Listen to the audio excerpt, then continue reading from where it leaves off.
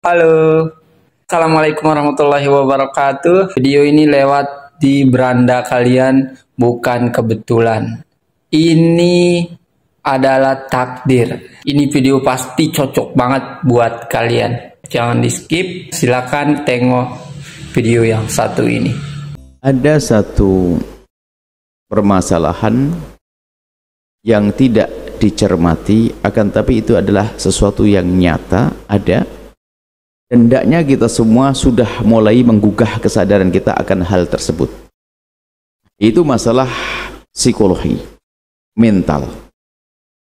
Selama ini mungkin orang tidak membahas tentang sisi itu. Ulama fikih ada membahas sisi fikih saja tidak membahas sisi ini. Ternyata sisi ini sangat perlu. Bahkan kalau kita lacak para imah itu dalam mencetuskan hukum fikih tidak lepas dari memperhatikan sisi psikologi, mental. Ini kurang lebih sering pertanyaan pada waktu yang beberapa hari yang lalu ada pertanyaan yang serupa ini, ada minderan dan sebagainya. Itu sebenarnya karena laki-laki itu kena mental. Bayangkan, dia tidak pernah dolim kepada pasangannya.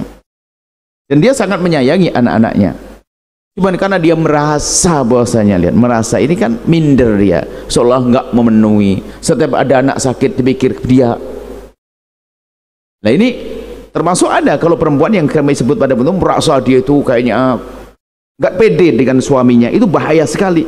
Nggak percaya diri sehingga kurang ini kurang itu. Dan orang yang punya mental itu akan cenderung mudah tersinggung.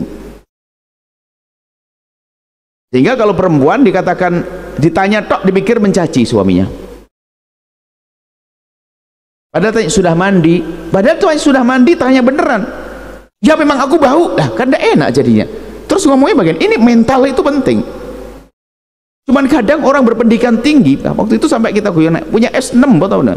S3 pendidikannya tapi nggak ngerti ilmu ini dipikir orang gila pergi ke psikolog menanyakan permasalahannya minta bimbingan bukan harus gila kita perlu bangkitkan kesadaran akan makna ini. Mental itu. Dia kan mulai was-was ini sehingga sebab itu dipikir aku. Sehingga itu sensitif sekali ditanya dipikir menyalahkan dia. Ini nggak boleh, maka dia mental hendaknya segera dibenahi. Kami sampaikan kepada siapa pun sebab-sebab orang depresi, sebab-sebab orang punya permasalahan mental itu macam-macam hari ini. Macam-macam. Sehingga sisi ini harus kita perhatikan lah kalau anak orang itu hendaknya segera didatangkan kepada seorang psikolog yang ngerti punya tentu ahlinya sekaligus yang dia ngerti tentang solusi sosial islami artinya kita harus memadukan antara dua ilmu itu sebenarnya ilmu psikologi ilmu yang ada dalam Islam hanya sepertinya menekuni adalah bukan orang Islam sehingga sampai buku-buku referensinya pun kalau kita lihat adalah bukan buku-buku Islam sedikit sekali buku Islam Padahal kalau Imam Ghazali dengan kitab Ihya-nya adalah juga ilmu psikologi yang luar biasa. Mas apalagi masalah bersihkan hati dan seterusnya itu bagaimana orang itu betul-betul urusan psikologi itu penting. Jadi ada mental. Mental itu kalau dibiarkan sakit mental bisa menjadikan sebabnya sakit fisik atau sebaliknya sakit fisik kalau dibiarkan menjadi menjadi sakit mental juga orang itu. Baik. Jadi orang semacam itu hendaknya didekatkan kepada ahlinya. Ustadz pun nggak bisa menyelesaikan masalah. Cuman sekarang tuh aneh-aneh. Orang begitu dipikir langsung dibawa kena guna-guna, santet segala macam. Eh mental. Guna-guna ini. Dikit-dikit guna-guna orang ini. Hah? Jangan gampang bawa ini. Ada mental itu penyakit. Penyakit mental itu luar biasa, ngeri, serem juga. Sehingga sampai orang menghantarkan dirinya pada bunuh diri. Karena apa? dia nggak pengen mati cuman dia nggak ada harapan hidup sehingga bingung dia yang diambil sehingga dia melakukan sesuatu tanpa ia sadari sampai melukai tubuhnya dan seterusnya itu nggak boleh dibiarkan maka kalau dia membiarkan penyakit itu maka dia menghantarkan dirinya pada kegilaan dan bunuh diri dosanya karena membiarkannya dan maka orang-orang yang kena penyakit mental semacam itu sama dengan orang sakit yang lainnya harus diberi kasih sayang dia. Disayangi dia, dihimbau, dihantarkan kepada pengobatan yang benar. Ini bukan main-main masalah ini. Dan kita juga menemukan orang bermacam-macam ternyata permasalahannya bermasalah psikologi. Bukan urusan santet segala macam ini. Memang sihir ada tapi kok GR amat siapa yang nyihir kamu tuh gitu. ya, sampai gitu yang kita tuh GR kamu disantet. Memang apa yang diambil darimu kan tak guyokan begitu ya apa mau mau wah saya kena diguna-guna? Wah seger banget guna-guna kamu. Kamu gandrung jatuh cinta aja kok bilang diguna-guna sama orang? Jadi macam-macam. Jadi sebenarnya ada masalah psikologi baik? Jadi seperti yang bersangkutan yang lainnya pun yang punya kasus yang serupa keminderan itu menjadikan perceraian juga. Minder gak enak. Sehingga dia nggak bisa mesra dengan pasangan. Kenapa? Dia merasa mau ngapain aku salah? Nyapu salah oh ini salah. Ngeliatin aku salah jadi belakangnya jadi, jadi gemeteran bahaya banget ini. Jangan dianggap sepele.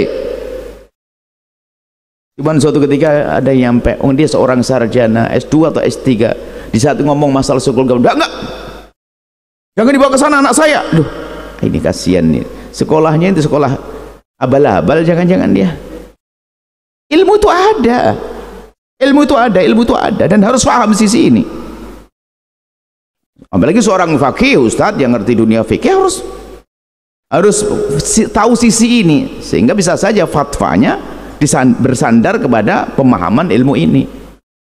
Jadi cerainya ya jatuh tapi nggak bisa. Cerainya jatuh dia mencerai kok dia sadar. Tapi solusinya nggak langsung rujuk. Selesaikan dulu dong mentalnya dia. Kalau mental kalau suruh rujuk kembali mentalnya masih itu dia cerai lagi.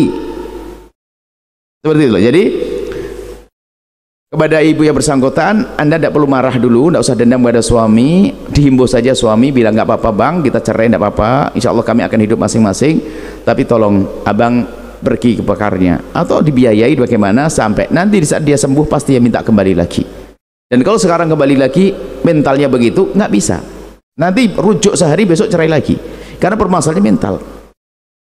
Aku dan sebagainya merasa bersalah dan sebagainya. Merasa bersalah itu benar orang merasa bersalah cuman kalau berlebihan semacam itu namanya minder. Itu masalah psikologi. Orang merasa bersalah bagus dong. Cuman kalau orang merasa bersalah serius langsung tobat. Bukan terus terpuruk. Kalau terpuruk malah menjadi putus asa. Seolah-olah Allah tidak mengampuni kurang ajar kepada Allah. Merasa bersalah tapi nggak meyakini Allah maha pengampun kan kurang ajar namanya kepada Allah jadi kami tetap himbau jawabannya harus seperti itu. Mau apa ini? Anda pergi suruh suami anda pergi psikolog mantan suami anda. Biarkan anda sendiri dia sendiri dan rawat anak-anak anda sampai dia sembuh. Bantu dia. Kalau tidak punya duit kasih duit dan sebagainya sampai sehat. Dan itu bisa sembuh hai hamba Allah. Penyakit itu bisa sembuh. Itu penyakit seperti ada penyakit fisik ada penyakit hati ada penyakit mental semuanya ada penyembuhannya. Dan semua ada dokter yang masing-masing ahlinya masing-masing. Ya seperti itu. Jadi kami gugah kepada siapa pun agar ada kesadaran tentang sisi ilmu ini. Yang kadang sering dilupakan ilmu psikologi ini. Mental membenahi mental ya. Dan tentunya pada ahlinya ustadz-ustadz ini. Kita pun juga tidak ngerti kalau dunia itu. Kalau ada orang punya masalah psikologi pada kami, tentu kami akan minta tolong pada yang lainnya untuk menjelaskan tentang ini. Karena bukan bagian saya, kan begitu. Kecuali kalau nanti saya sudah sekolah dan sebagainya, benar baru saya sah ngomong yang demikian itu.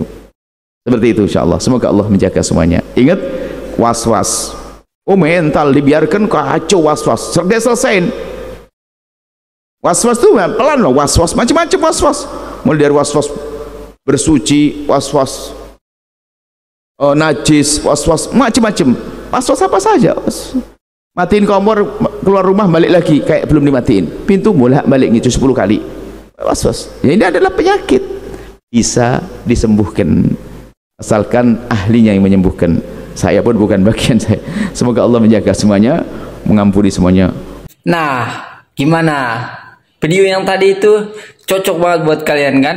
Semoga video yang tadi bisa menginspirasi kalian terutama diri saya sendiri dan untuk kita semua. Oke, terima kasih karena sudah menonton. See you.